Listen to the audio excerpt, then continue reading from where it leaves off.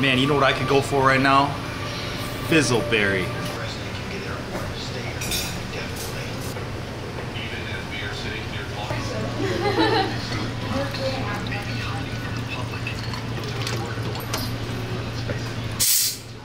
Oh, fizzle.